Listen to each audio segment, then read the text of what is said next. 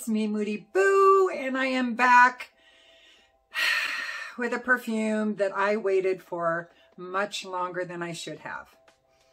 Now, I got this perfume, I don't know, week and a half ago, week ago or something, and I had to walk away from it. And because uh, I tested it initially and wasn't super impressed, but I realized part of that was probably due to the fact that I was not happy with Fragrance Du Bois and the way that they launched this perfume. Um, it may just be me, but I happen to know I was like one of the first people to purchase the perfume because I accidentally purchased it on that test they were doing and they said they would honor the purchase. It wasn't actually um, being released until the next day. So I know I got one of the first bottles. And then lo and behold, I go on YouTube and there's all these beautiful European ladies reviewing the perfume. I'm like, what? How is that possible? I haven't even gotten a shipping notice. So I emailed Fragrance Du Bois and they're like, oh, we're going to be shipping it to the US distributor very soon and then they will ship it to you. I'm like, what? You shipped it to all the European customers before you even shipped it to the distributors in other countries? Huh?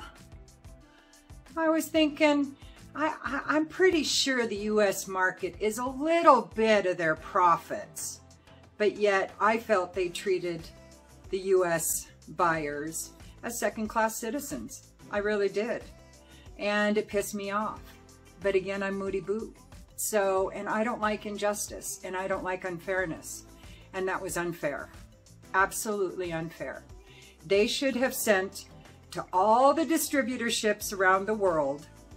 And then once everybody said, we've received them, then everybody send them out to the individuals at that time at the same time. That way everybody would have gotten it probably within, you know, a few days, a week of each other, which is totally understandable. It was another month before I even got a shipping notice. Before it was saying, oh, we're, we're shipping your bottle now. Oh, well, thanks for nothing. It's been, you know, almost two and a half months since I purchased it or whatever. So it's really anticlimactic at this point. Um, so that's why I had to walk away from it because I don't know that I'll ever buy another Fragrance Du Bois. I don't care who is doing a launch.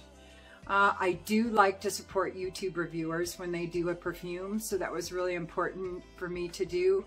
Now, I don't know Demi Rawlings. I don't watch her YouTube channel. I don't watch any big YouTube reviewers. You know how I feel about that. I feel like I get more sincere, less business motivated and more service motivated reviews from um, uh, lesser known perfume reviewers because it seems like not all of them, but quite a few of the over 100,000 um, subscriber perfume reviewers are much more motivated about business and making money than they are about really providing a service. So I don't watch Demi. I don't watch Jeremy. I don't watch most of those people. There is a couple that I do watch, but I've known these, a couple of them, like uh, Jensen. I've watched him for years and years and years. So, like, subscribe, ring the bell and comment. Anywho, um, so I don't know her taste. I don't know what kind of perfume she likes. I've looked at her thumbnails and I realize there's several of the same perfumes in the thumbnails. So I know that she likes the Armani um, red one. And there's another one. So I expected this to have like rose in it or something because um, that seems to be kind of her style. So when I smelled it, I was initially very surprised because I didn't look at the notes. I did know that there was coffee in it. I don't remember how I knew that, but I did know that. And so when I smelled it initially, I was a little underwhelmed. I was like, this smells like coffee, vanilla, black pepper, and ISOE super. That's basically all I got. I'm like, wait, you're ticked off at Fragrance Du Bois and it's probably projecting onto the perfume. So put the perfume down, walk away from it, come back in a few days. So that's what I did. And I've been working with it for the last, I don't know, five days or something. And now I appreciate it. I do initially still get that initial at the top blast of uh, coffee, vanilla, ISOE super, and black pepper. Um, and specifically black pepper because it has has a hint of bite and it reminds me of when I'm shaking black pepper onto my eggs or something and a little bit of that dust comes up and you can smell that. It makes most people sneeze, but if it doesn't make you sneeze, I'm making this sound so appetizing, but it's really beautiful. And I actually love the smell of pepper. And uh, so I was like, well, but this is $300 USD. and uh, I was like, hmm, not sure yet. So I worked with it and worked with it and I really, really started liking it. I, I think it's a beautiful perfume. I don't even know what the notes are yet, but I'm gonna look. Um, it doesn't have a huge trajectory. It, it, I feel like that ISOE Super gets a little stronger. The coffee goes a little lighter. The vanilla stays pretty level. Um, and the pepper kind of goes away. For me, it becomes kind of a sweet, woody, um, uh, uh, uh, vanilla ISOE super kind of a dry down. And that's where it stays. It's very smooth. Um, it's very polite. It's not a beast mode kind of a perfume.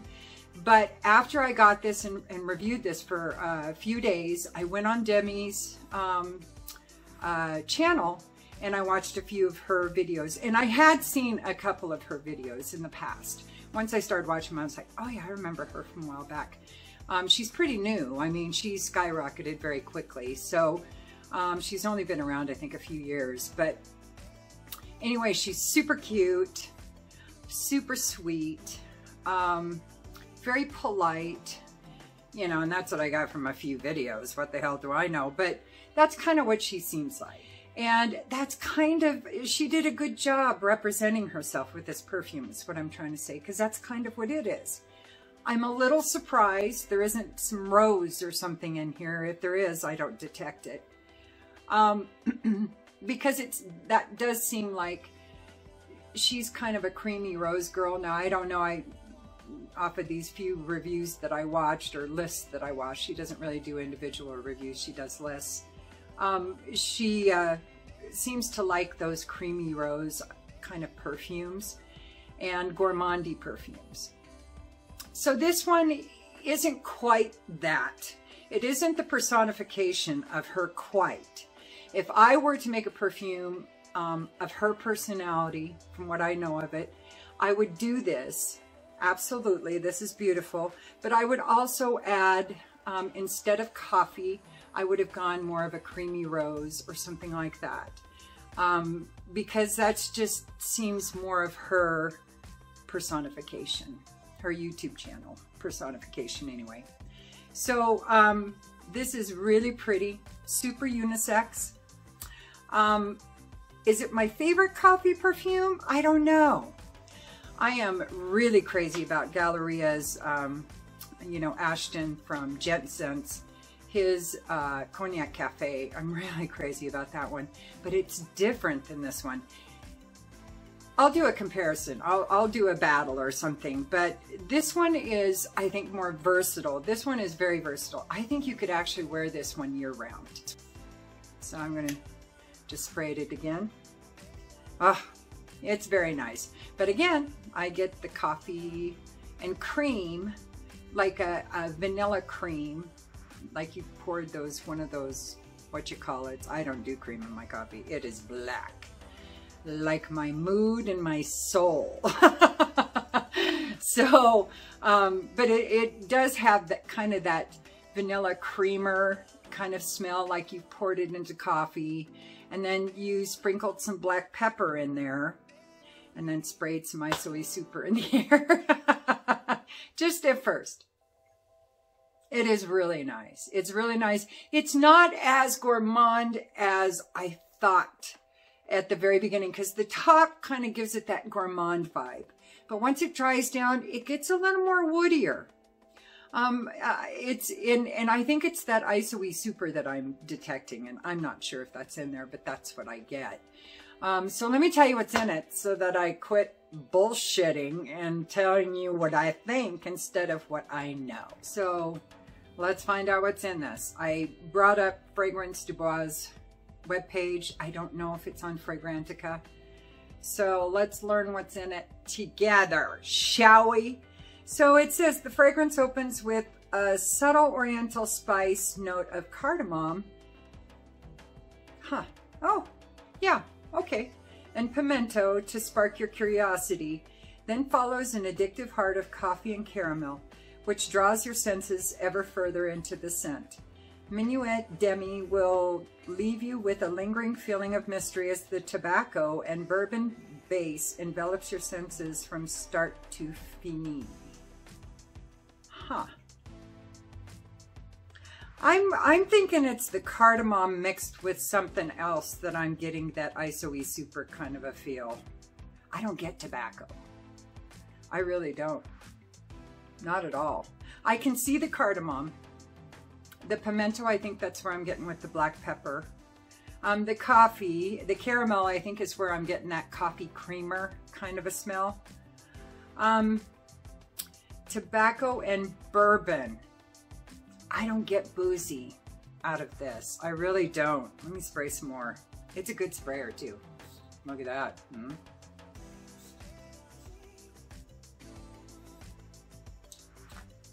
Yeah, I don't get boozy. There's actually a little bit of greenness in there at the top. Um, just a hint of it, and it's it's really fleeting. And I bet it's the pimento cardamom combo that's causing me to have this little bit of nasal schizophrenia going. Because I think they're kind of, one is becoming more dominant than the other slightly.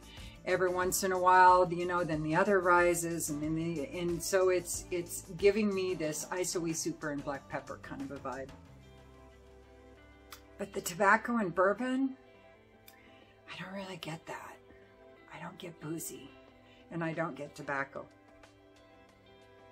There is an earthiness to it when it dries down, but it also, it's like, it's, it's at its most dense the first hour that you wear it.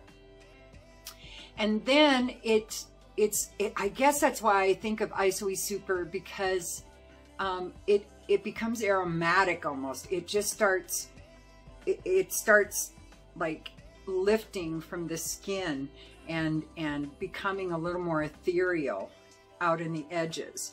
Whereas when you first spray it that first hour, it has a much firmer, much thicker defined line, but it's a little closer to you. And as it goes on, it kind of uh, comes up and out and it the edges feather a little bit. Does that make any sense? But that's that's what I visualize. That's what I think of when I wear this. And I've worn this quite a bit. I don't think you can tell. But I made a bit of a dent. Oh, there's something on the back. Now it just says an original Fragrance Du Bois. And I do love the bottle. I will say that. This is a 100 ml, I think. It's bigger than my uh, Oud Orange Intense. Yep, 100 ml. Yeah. So, um, Performance is good, but like I said, it is polite. So it's not a beast mode projector. You could wear this to a variety of functions without any problems. You could wear it day or night. Um, I think it could definitely be a work scent, but why waste it on work? Because it can also be a night scent.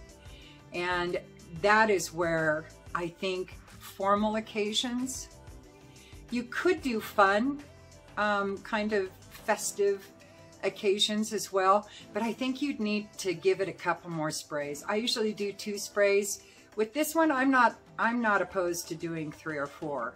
There's no problem. It doesn't go whammo or become a nose rocket or anything. So you're totally safe to overspray with this. Um, but it's bendy, so weigh it, you know. But I, I just feel it's a formal scent. And at the same time, it's versatile enough to where you could wear it for a multitude of occasions. And that part of it makes it very much worth the price. Any really versatile perfume for me, I'm happy to pay a little more for because it's it's going to be one of those mindless perfumes that when I don't want to think about, you know, I don't have time to stand in front of my shelf, one of my shelves um, full of perfumes and like I like to do and and and categorize what do I feel like today? A vanilla a sandalwood uh, you know and then narrow it down that way. Um, it's it's a fun thing for me. I really enjoy doing that. But when I don't have time I have a table of just mindless perfumes perfumes that are so good for any occasion and I can still purchase them. So it's not like they're a discontinued one or one that I covet um, I can just grab it spray it and go doesn't matter what time of day, night, what time of year, what occasion. And that's this perfume. And that's rare. I don't have many of those. Um, actually, Molecule 1 by Molecules is one of them. But I don't have many of these. They're kind of a unicorn in that regard. Because uh, most perfumes, you know, lean more towards um, night or day or and time of year. This one too, any time of year, I think you are just fine. I can't wait to try this in the heat, as a matter of fact. I think it'll be beautiful.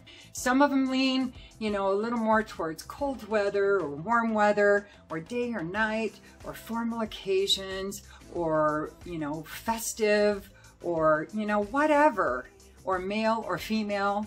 You know, not this one. I will give it that. And for that reason, for me, it is worth the price. Absolutely. And the bottle's pretty, pretty too. And I'm supporting another YouTuber, which I really appreciate. Even though I started reviewing when she was a baby. so there is that. And it's a beautiful perfume. It really is. And I'm super glad I have it. I think I heard did somebody tell me or was it in... Ah, I don't remember, but I want to say they're relaunching this. Oh, maybe it was on Fragrance Du Bois' website. But I think they're relaunching it, so you can get it. Again, it's like $300 USD. And I don't think next time, if you purchase it, it will take you two or three months to get it. I seriously doubt what happened with this last one will happen again. I'm hoping that Fragrance Du Bois learned their lesson. Fragrance Du Bois is a really good house.